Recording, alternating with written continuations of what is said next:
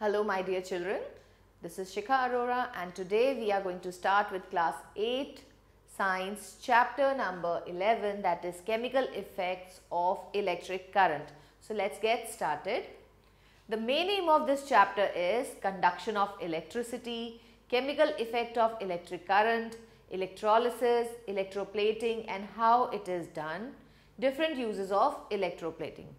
Let's have a look on warm up.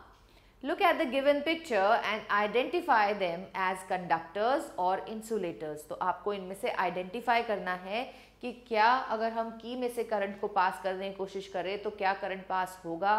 क्या rubber bands में से करंट को पास करें तो क्या रबर बैंड्स में से करंट पास होगा? या हम एक सेफ्टी पिन यूज़ करें तो क्या होगा? Will it be a conductor और it will be an insulator ऐसे ही आप वुड के साथ भी ट्राई करेंगे और कॉपर वायर के साथ भी। And then you are going to mention कि ये कंडक्टर्स हैं या इंसुलेटर्स हैं। Electricity is form of energy children अभी तक हमने बात करी थी लाइट के बारे में साउंड के बारे में that they all are form of energy ऐसे ही इलेक्ट्रिसिटी भी है, जो है, ये भी एक फॉर्म ऑफ़ एनर्जी है।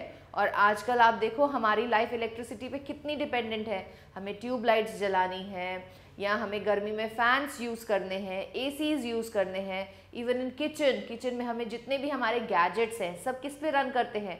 इलेक्ट्रिसिटी पे रन करते हैं। कपड़े धोने हैं तो भी हमें इलेक्ट्रिसिटी चाहिए, क्योंकि वॉशिंग मशीन इलेक्ट्रिसिटी पे ऑपरेट होती है। So electricity has become a integral part of our life इसके बिना तो अब लाइफ इमेजिन करना ही पॉसिबल नहीं है। Electricity is a form of energy most machines, household appliances and all kinds of gadgets operate on electricity, it is true that electricity has become an integral part of our life.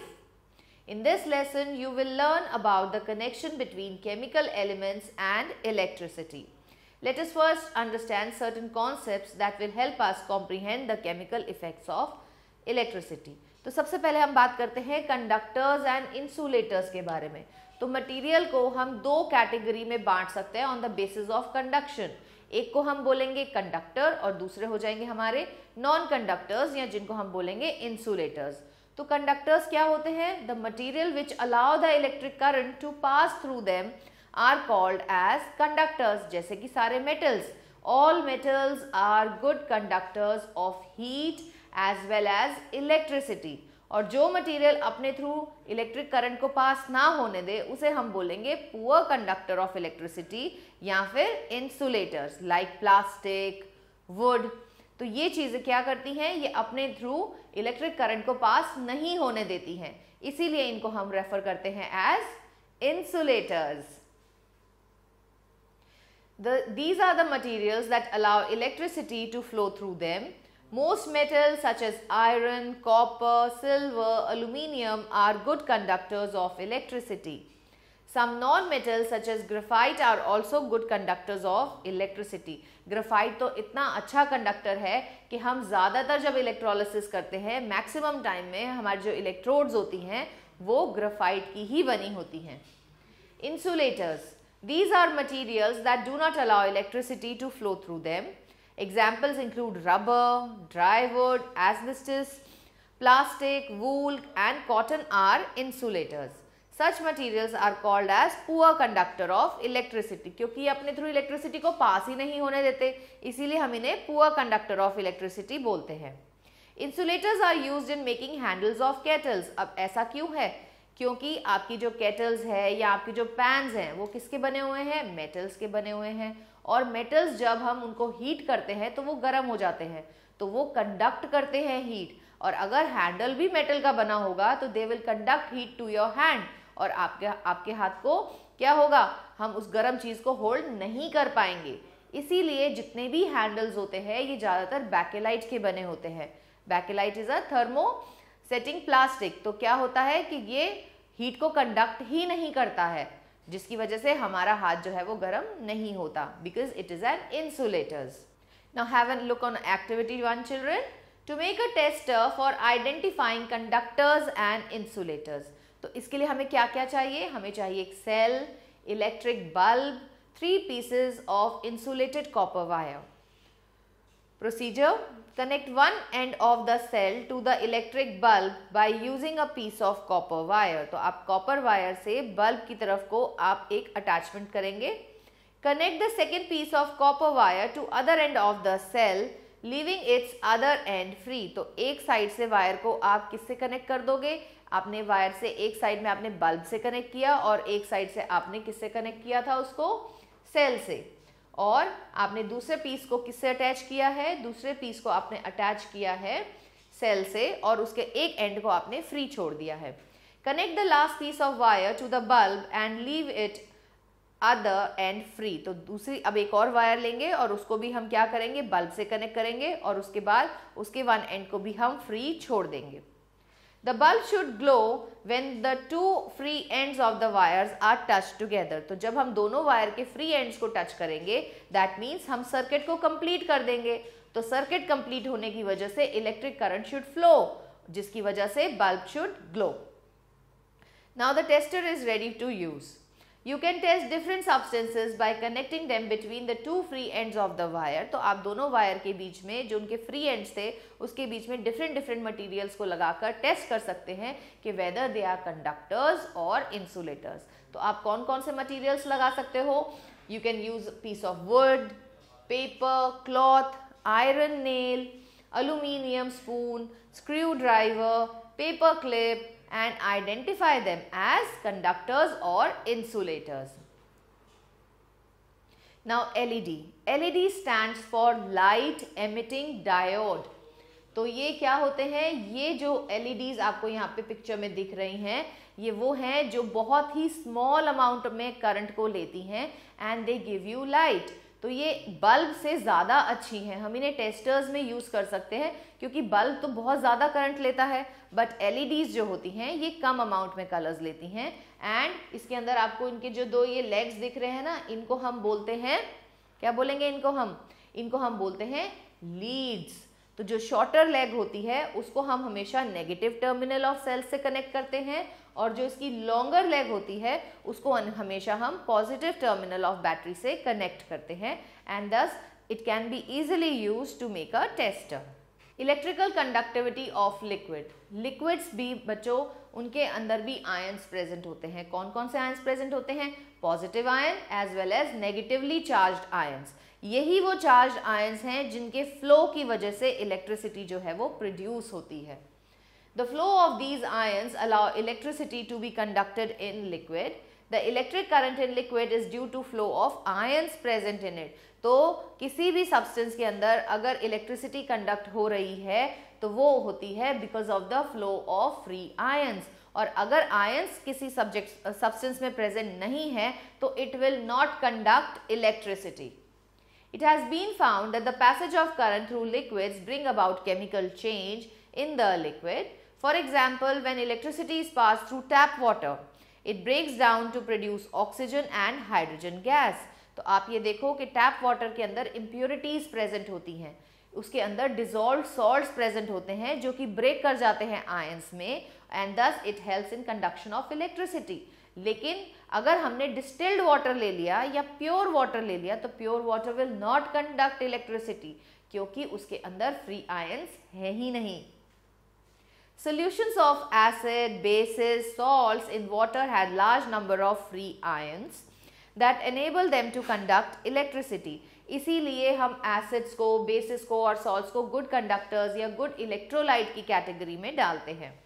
A liquid that does not contain ions can not contain conduct electricity for example lemon juice vinegar aqueous sodium chloride and aqueous potassium chloride have negligible और very few charge free ions electrolyte compound whose molecule ionize into positively and negatively charged ions when dissolved in water is called as electrolyte तो electrolyte क्या होती है? जो फटाफट से dissociate हो जाए पॉजिटिवली चार्ज आयंस में से एंड नेगेटिवली चार्ज आयन में, उसे ही हम बोलते हैं electrolyte so electrolyte will have two type of ions एक होंगे पॉजिटिवली चार्ज आयंस जिनको हम बोलेंगे कैट आयंस और एक होंगे इसके अंदर नेगेटिवली चार्ज आयंस जिनको हम बोलेंगे anions an electrolyte generate ion when dissolve in water तो दिस इज़ अंडरस्टूड कि इलेक्ट्रोलाइट भी तभी इलेक्ट्रिसिटी कंडक्ट करेगी जब वो सोल्यूशन फॉर्म में होगी. ड्राई इलेक्ट्रोलाइट कभी इलेक्ट्रिसिटी कंडक्ट नहीं करेगी. Solution of many chemical compound such as common salt common salt तो नमक है. आप घर में यूज़ करते हो, क्या वो इलेक्ट्रिसिटी कंडक्ट करता है? नहीं. लेकिन अगर आपने उसका एक्वस सोल्यूशन बना लिया मतलब आपने उसको पानी में डिजोल्व कर लिया and then you may use it as an electrolyte it will conduct electricity and acids are termed as electrolyte तो इलेक्ट्रोलाइट भी हम दो कैटेगरीज में बांट सकते हैं। पहली को हम बोलेंगे स्ट्रॉन्ग इलेक्ट्रोलाइट स्ट्रॉन्ग इलेक्ट्रोलाइट वो होंगी जो पानी में डिजोल्व होते ही फटाफट से आयन्स में डिसोसिएट हो जाए। मतलब वो पॉजिटिव और नेगेटिव आयन्स फटाफट से they they when it is dissolve in water तो ऐसे ही हम इलेक्ट्रोलाइट को हम बोलेंगे strong electrolyte strong electrolyte are compound that ionize completely when dissolve in water strong acid strong bases and salt are strong electrolyte they are good conductor of electricity भाई electricity तो conduct करेंगे ही, क्योंकि वो तो फटाफट से डिसोसिएट हो गए पॉजिटिव आयंस में भी और नेगेटिव आयंस में भी, और इन आयंस के मूवमेंट से ही तो इलेक्ट्रिसिटी प्रोड्यूस होनी है. So they are good conductors of electricity तो स्ट्रॉन्ग इलेक्ट्रोलाइट में एसिड्स में कौन कौन से हैं? हाइड्रोक्लोरिक एसिड जिसको हम एच बोलते हैं sulphuric acid H2SO4 nitric acid which is called as HNO3 ऐसे ही स्ट्रॉन्ग बेसिस में हमारी हैं sodium hydroxide NaOH potassium hydroxide which is KOH salts में sodium chloride magnesium chloride are the strong electrolytes weak electrolyte. A weak electrolyte is one which partially dissociate into ions when dissolved in water. जो धीरे धीरे अपने positive ions और, और negative ions को release करती है उसे हम बोलते हैं वीक इलेक्ट्रोलाइट ये इलेक्ट्रिसिटी कंडक्ट ज़रूर करती है बट बहुत ही फेंट इलेक्ट्रिसिटी बहुत वीकली करती है। तो वीक एसिड्स जैसे कि एसिटिक एसिड हो गया कार्बोनिक एसिड हो गया, ये वाले जो हैं, ये वीक इलेक्ट्रोलाइट की कैटेगरीज में आते हैं। देन वीक बेसिस जैसे कि phosphoric acid ammonium hydroxide are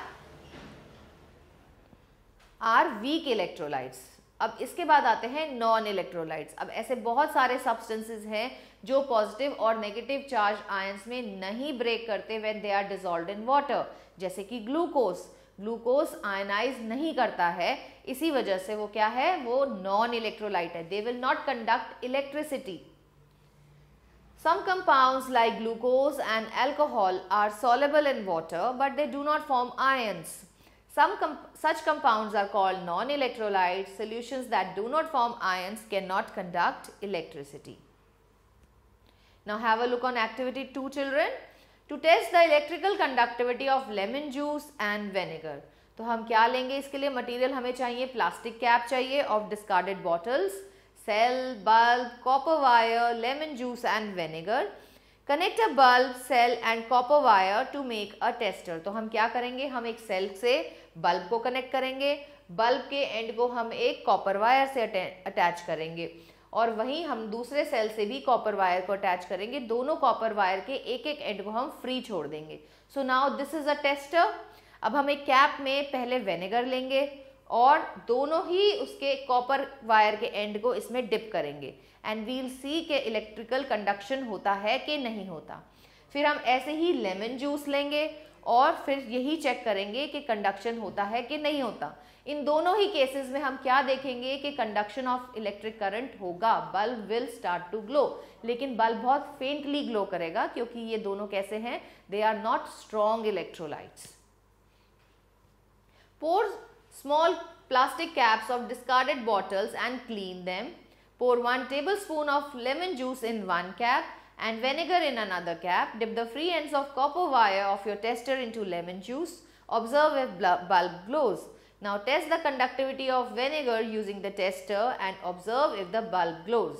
तो हम दोनों ही केसेस में क्या ऑब्ज़र्व करते हैं कि बल्ब ग्लो करेगा indicating that lemon juice and vinegar are conductors of electricity.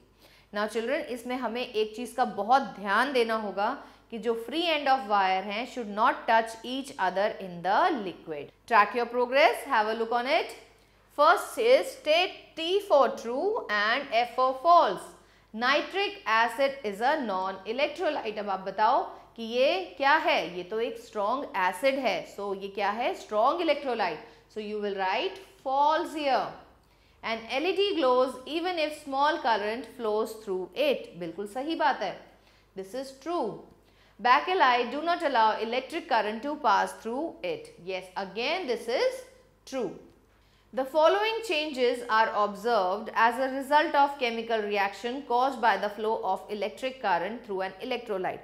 भाई हमें कैसे पता चलेगा कि हमने जो इलेक्ट्रोलाइट यूज़ की है उसमें से इलेक्ट्रिक करंट फ्लो कर रहा है या नहीं कर रहा? तो इसके लिए हमारे पास कुछ ऑब्जर्वेशंस होती हैं। जैसे कि गैस बबल्स जो हैं वो फॉर्म होते हैं at the point of electrodes उसके बाद metal get deposited on one of the electrode and thirdly colour of the electrolyte जो है वो चेंज हो जाता है। Thus, we can conclude that an electric current can bring about chemical change. तो इसके अंदर क्लिकीपीडिया क्या है? The extra knowledge is negative ions move towards anode negative charge जो है, वो किसकी तरफ़ मूव करेगा? ऑपोजिट चार्ज की तरफ़ मूव करेगा तो वो हमेशा पॉजिटिव की तरफ़ जाएँगे. That means they go towards anode और वहीं हमारे पॉजिटिव चार्ज जो है, वो कहाँ जाएँगे? नेगेटिवली चार्ज इलेक्ट्रोड की तरफ़, जिसको हम बोलेंगे cathode electrical conductivity of water children as we have already discuss जो प्योर वाटर होता है, वो एक नॉन इलेक्ट्रोलाइट होता है. It will never ever conduct electricity लेकिन वहीं अगर हम टैप वाटर की बात करें तो टैप वाटर के अंदर डिजॉल्व इम्प्योरिटीज प्रेजेंट होती हैं ऑफ़ डिजॉल्व सॉल्ट्स इसी वजह से वो क्या है? It is an electrolyte and it will conduct electricity. Pure water is a poor conductor. However, the water that we use in our homes is not pure. Generally, tap water, pond water, well water contains impurities in the form of dissolved salts. The presence of even small amount of these, किसी की भी थोड़ी सी भी अगर impurities present है तो उसकी वजह से water जो है वो electrolyte में change हो जाता है Remember getting an electric shock can result in very serious injuries and even death. That is why you should always take care while operating electrical appliances. इसीलिए जब भी हम electrical appliances के साथ काम करते हैं तो हमें बहुत सावधान रहना चाहिए One is more likely to get electric shock from touching an electrical appliances with wet hands than with dry hands.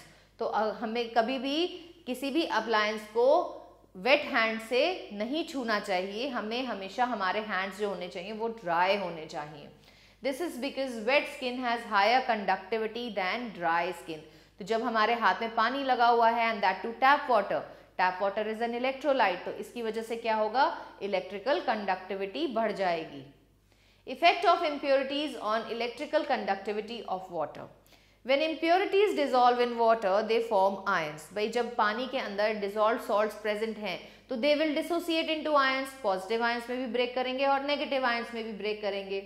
Ions are atoms or group of atoms which have positive charge as well as negative charge. These ions enable an electric current to pass through them.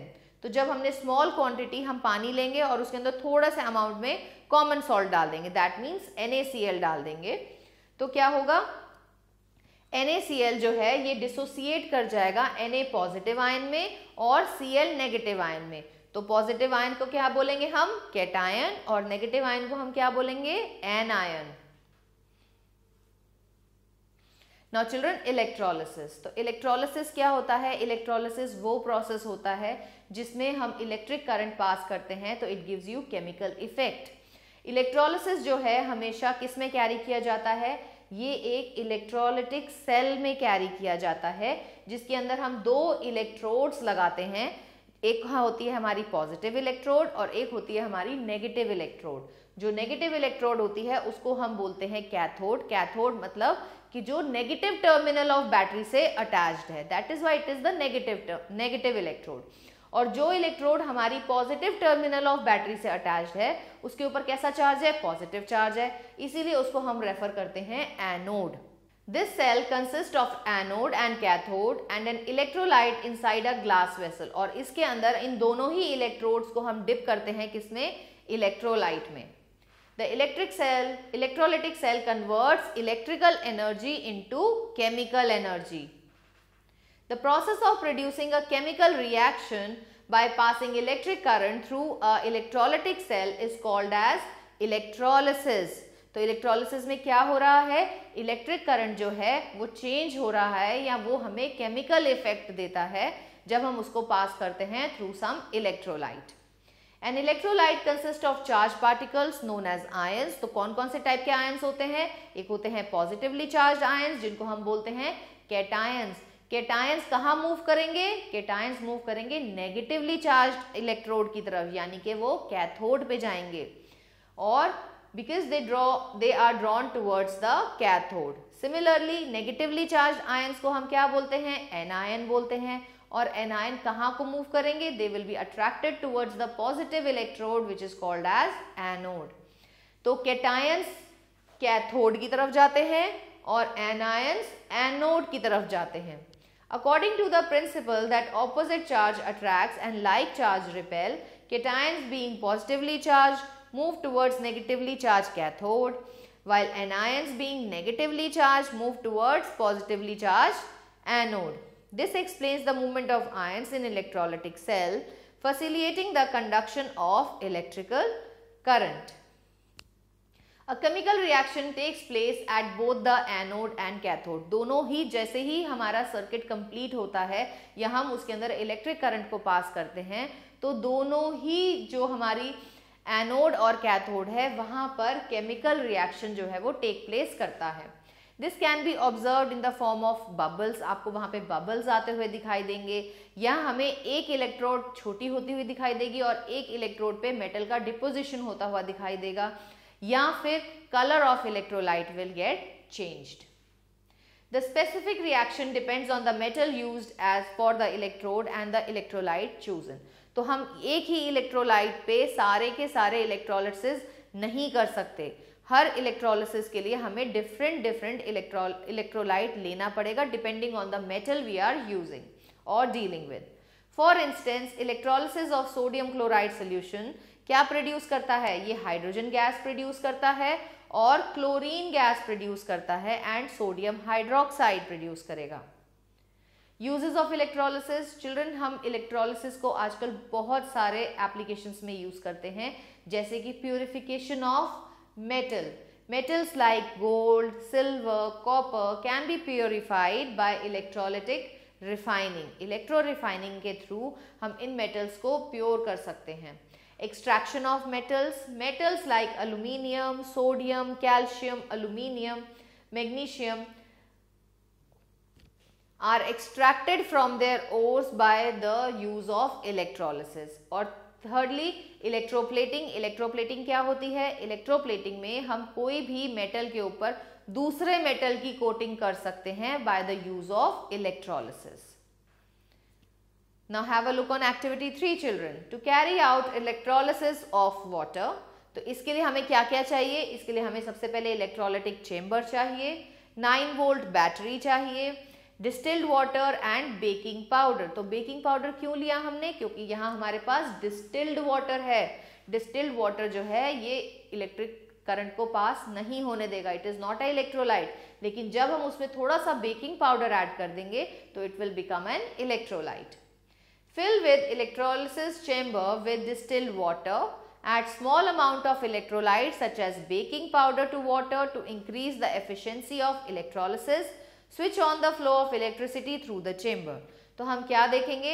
As the electricity passes through water water molecule split कर जाएँगे। किस किसमें split करेंगे? Hydrogen gas में और oxygen gas में। Hydrogen gas is produced and collected at cathode तो hydrogen कहाँ मूव करेगी?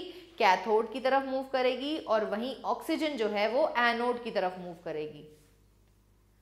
The chemical equation for the overall reaction of electrolysis of water में क्या होगा? दो molecule of water will give you two molecules of hydrogen and one molecule of oxygen the amount of hydrogen gas जो यहाँ पे आप देख रहे हो प्रोड्यूस हुई है, ये ट्वाइस है as compare to that of oxygen produced ना चिल्ड्रन इलेक्ट्रोप्लेटिंग अब हम इलेक्ट्रोप्लेटिंग को डिटेल में डिस्कस करेंगे कि इलेक्ट्रोप्लेटिंग क्या होता है। इलेक्ट्रोप्लेटिंग के अंदर हम की कोई भी एक मेटल के ऊपर दूसरे मेटल का डिपोजिशन करवा सकते हैं, ताकि हम उसकी लाइफ को इन्हांस कर सके। जैसे कि हमारे पास आयरन है। आयरन आपको पता है इजिली रस्ट हो जाता है। तो यहाँ तो हमें उसे पेंट करना पड़ता है, यहाँ उसे हमें ग्रीस करना पड़ता है। लेकिन आजकल एक और बहुत अच्छा मेथड आया है जिसमें हम आयरन के ऊपर जिंक की कोटिंग कर देते हैं उसके ऊपर उसको इलेक्ट्रोप्लेट करा देते हैं and that process is called as galvanization Electroplating involves deposition of thin layer of desired metal onto another metal using electrolysis. For example, articles made of cheap metal. भाई आजकल गोल्ड हर किसी के भाई गोल्ड इज़ वेरी एक्सपेंसिव हर कोई gold नहीं ले सकता बट गोल्ड की ज्वेलरी पहनना तो सबको पसंद है तो लोग क्या करते हैं? लोग चीपर ज्वेलरी की तरफ़ जाते हैं, जिसके ऊपर सिर्फ़ हमने क्या कर रखा है? गोल्ड की प्लेटिंग करा रखी है। तो हम मेटल्स के कोई भी नेकलेस ले सकते हैं और उसके ऊपर हम क्या कर सकते हैं? उसके ऊपर गोल्ड की हम प्लेटिंग करा सकते हैं by the process of electroplating and it will give the same look and shine as the original metal for example articles made from cheap metals और other materials are coated with precious metals like silver और gold to enhance their appearance. In electroplating the article to be electroplated is made as cathode तो हमें जिस article को electroplate कराना है, उसे तो हम बनाते हैं कैथोड और जिस मटीरियल को हमें इलेक्ट्रोप्लेट करना है मतलब जोन सा मटीरियल हमें उस मटीरियल पर चढ़ाना है डिपॉजिट कराना है, उसको हम बनाते हैं anode A soluble salt of the metal to be deposited serves as electrolyte. तो जो उसका ही same salt हम लेते हैं as an electrolyte. When electric current passes through the circuit and electrolyze a thin film of metal अब क्या होता है कि metal जो है metal का आयंस कहाँ present है एनोड पे जब हमने इलेक्ट्रिक करंट को पास किया तो मेटल जो है वो डिसोसिएट कर जाएगा आयंस में और ये आयंस कहाँ जाएँगे? अब पॉजिटिवली चार्ज आयंस है तो कहाँ जाएँगे? नेगेटिवली चार्ज इलेक्ट्रोड के पास इलेक्ट और नेगेटिवली चार्ज इलेक्ट्रोड किसकी बनी हुई है? जिसके ऊपर हमें इलेक्ट्रोप्लेट कराना है। तो क्या होगा कि मेटल के आयंस जो हैं, वो जाकर इलेक्ट्रोप्लेट हो जाएँगे या फिर डिपॉजिट हो जाएँगे at cathode for instance zinc is electroplated on iron articles to prevent corrosion. Now in this activity children, electroplating of zinc on an iron strip. तो इसके लिए हम क्या लेंगे? इसके लिए हम लेंगे जिंक सल्फेट का सोल्यूशन जिंक सल्फेट का solution will act as electrolyte zinc की स्ट्रिप लेंगे और इसको हम क्या बनाएँगे? क्योंकि हमें जिंक को इलेक्ट्रोप्लेट कराना है इसलिए हम इसे एनोड बनाएँगे. और आयरन स्ट्रिप जिसके ऊपर हमें जिंक को डिपॉजिट कराना है इसे हम बनाएँगे cathode connecting wires battery and a beaker इसके लिए हमें चाहिए। Take zinc sulphate solution in a beaker तो सोल्यूशन फॉर्म में होना चाहिए जिंक सल्फेट तभी वो इलेक्ट्रोलाइट की तरह एक्ट करेगा। Connect a zinc strip to the positive terminal of the battery using connecting wires मतलब हमने इसे क्या बना दिया? हमने इसे एनोड बना दिया। Similarly connect the iron strip to the negative terminal of the battery यानी कि it will act as a cathode dip the two strips into zinc sulphate solution और जब हम इसमें से इलेक्ट्रिक करंट को पास करेंगे तो हम क्या देखेंगे कि after 20 to 25 minutes a uniform coating of zinc metal forms on iron rod iron की स्ट्रिप के ऊपर जिंक की जो है वो कोटिंग हो जाएगी और एनोड जो है वो रिड्यूस हो जाएगा you will observe that a layer of zinc is deposited on the iron strip. When electric current is passed through zinc sulfate solution, zinc sulphate किसमें ब्रेक करेगा? जिंक आयंस में और सल्फेट आयंस में। Free zinc ions get deposited on the cathode the zinc from the zinc strip dissolve in the solution to replace zinc loss to the cathode thus anode gradually dissolve anode क्या है? Anode खत्म होती जाएगी and a layer of zinc is gradually deposited on cathode the sulphate ions का इनमें कोई role नहीं है, वो एज इट इज़ रहेंगे। In this way, zinc from anode is electroplated on the iron strip. This process of depositing a layer of zinc metal on iron object is called galvanization. Application of electroplating children electroplating में हम क्या करते हैं हम cheaper metals के ऊपर expensive metals की electroplating करके उनके अपियरेंस को एनहेंस कर सकते हैं Metal objects are coated with thin layer of different metals to either protect them or make them attractive तो हमने क्या किया? हमने गोल्ड की प्लेटिंग कर दी तो वो अट्रैक्टिव हो गए।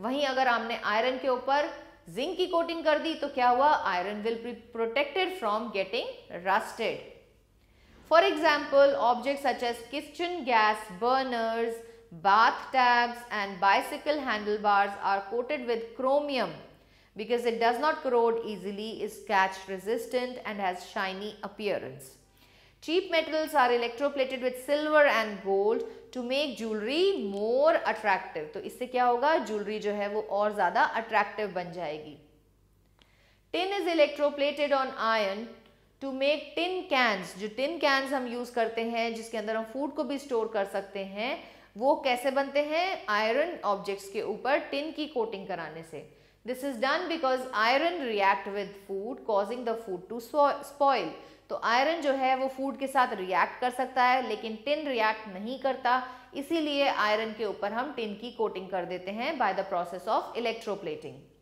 Iron is electroplated with zinc to protect it from corrosion and prevent rust formation. Electrolysis is used in the refining of impure metal. भाई, हम इम्प्योर मेटल को भी इलेक्ट्रोलिसिस के थ्रू रिफाइन कर सकते हैं, और इस मेथड को हम बोलते हैं electrolytic refining and can be use to purify metal such as copper gold and silver here is how purification of copper is carried out so have a look on कि हम कैसे कॉपर को purify कर सकते हैं। तो हम क्या करेंगे? हम इम्प्योर कॉपर को तो लेंगे एनोड पे और प्योर कॉपर की स्ट्रिप को हम बनाएँगे कैथोड अब क्या होगा, जब हम इलेक्ट्रिक करंट पास करेंगे तो इम्प्योर कॉपर एनोड में से कॉपर जो है कॉपर के आयन सोल्यूशन में आके वो कैथोड पे डिपॉजिट होते जाएँगे, जिसकी वजह से एनोड जो है वो रिड्यूस होती जाएगी और इम्प्योरिटीज जो है वो सेटल डाउन हो जाएँगी in the form of anode mud An impure copper rod is taken as anode and very thin wire or strip of pure copper is taken as cathode. The electrolyte is copper sulfate solution. On passing the electric current, the impure copper dissolves in the solution and pure copper metal get deposited at the cathode. तो cathode जो है ये हमारी thick होती जाएगी और anode जो है ये रिड्यूस होती जाएगी The impurities that collect below anode are collectively known as anode mud. तो यहाँ पर जो impurity collect होगी इसे हम बोलेंगे anode mud. Now have a look on track your progress children. State T for true and F for false. First one is metals are extracted from their ores with the help of electrolysis. Yes, it is true. Expensive metals are coated with cheap metals to protect them from corrosion. Again, this is True.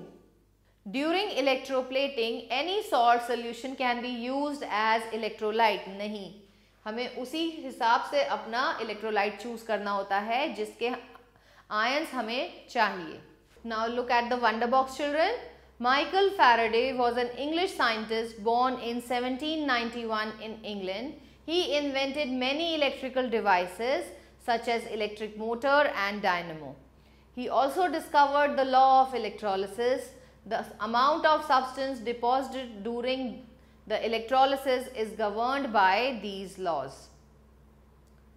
Cautions तो अब हमें electric shock ना लग जाए उससे हमें severe Burns ना हो एंड इवन डेथ ना हो तो हमें क्या क्या प्रिकॉशंस फॉलो करने चाहिए केसेस ऑफ़ इलेक्ट्रिक शॉक अगर इलेक्ट्रिक शॉक की बात हो तो इलेक्ट्रिक शॉक कब अकर करेगा? Electric shock occurs when electric current passes through the body जब आपकी बॉडी में से इलेक्ट्रिक करंट पास करेगा तो आपको इलेक्ट्रिक शॉक लगेगा। The intensity of the shock may be mild और severe A defective electrical appliances or an exposed electrical wire can cause an electric shock. Preventing electric shock, कैसे prevent कर सकते हैं हम इसे? कि हमें कभी भी इलेक्ट्रिकल अप्लायंसेस को वेट हैंड से ऑपरेट नहीं करना चाहिए। हमें हमेशा रबर सोल्ड फुटवेयर को यूज़ करना चाहिए और stand on a wooden slab while doing any electrical work do not touch electrical appliances with wet hands what to do in case of electric shock लेकिन अगर इलेक्ट्रिक शॉक लग ही जाता है तो हमें क्या करना चाहिए? If the shock occurs indoor, immediately disconnect the power supply by turning off the main electrical switch सबसे पहले अपने घर में जहाँ पे भी इलेक्ट्रिसिटी आ रही है उस स्विच को हमें बंद कर देना चाहिए। If the person is in contact with the source of electric current do not touch the person और the source of electric current हमें उसको कभी टच नहीं करना चाहिए। Stand on a dry rubber mat wooden slab or a stake of newspaper and use a completely dry wooden pole to move the person. First aid क्या लेनी चाहिए अगर इलेक्ट्रिक शॉक हो तो shift the victim to the nearest hospital immediately while waiting for medical help keep the victim lying down and cover with blanket to maintain warmth do not move the victim if there are head neck or spinal injuries now, the keywords and explanation of this chapter include anode, the electrode through which electric current enters the electrolyte, cathode, the electrode through which current leaves the electrolyte, electrolysis, the process of passing an electric current through a liquid to bring about chemical change. Electrolytes, liquids that allow electric current to flow freely through them electrolytic cell, a device containing two electrodes in contact with an electrolyte that brings about chemical reaction when connected to a battery. Electroplating, the process of coating a metal or an alloy with another metal using the process of electrolysis. Non-electrolyte, liquids that do not allow electric current to flow freely through them. Have a look on the review zone children. First is take the correct option. Which of the following is not a conductor of electricity? तो इसमें होगा distilled water क्योंकि distilled water में free ions नहीं होते हैं Which of the following is an insulator? Insulator मतलब जिसमें से electric current pass ना हो सके. So that is plastic. which is the what is the article to be electroplated called किसके ऊपर इलेक्ट्रोप्लेटिंग होती है कैथोड के ऊपर iron is electroplated with metal to prevent it from rusting identify this metal it is zinc so you will take here what is the process of depositing a precious metal on a cheaper metal with the help of electrolysis called this is called as electroplating Have a look on fill in the blanks children. First one is pure water dash conduct electricity. क्या pure water electricity conduct करता है नहीं तो हम यहाँ लिखेंगे pure water do not. The passage of an electric current through a solution causes क्या करेगा chemical effect if you pass current through copper sulfate solution, copper get deposited on a plate connected to dash terminal of the battery. Copper के ions कैसे हैं? Copper के ions हैं positive. Positive ions हैं तो ये कहाँ जाएँगे? They will go to the negative terminal of the battery. So हम यहाँ पे लिखेंगे negative. The process of depositing a layer of any desired metal on another metal by use of electricity is called electroplating. आप यहाँ पे electroplating लिखेंगे Electrolysis occurs when electrolyte is in molten state. molten state में हो या फिर liquid state में हो solution form में हो State whether the following statements are true or false. All liquids conduct electricity? Nahi, this is false. Rainwater and tap water are good conductor of electricity? Yes, it is true. Electrolyte decompose into ions when electric current is passed through it? Again true. Water taps are electroplated with tin to make them shiny? True. During electrolysis positive ions collect at anode तो anode तो already positive charge है तो यहाँ पे false आएगा। With this we have come to the end of this chapter children I can hope you have understood this chapter nicely stay tune for the new video till then goodbye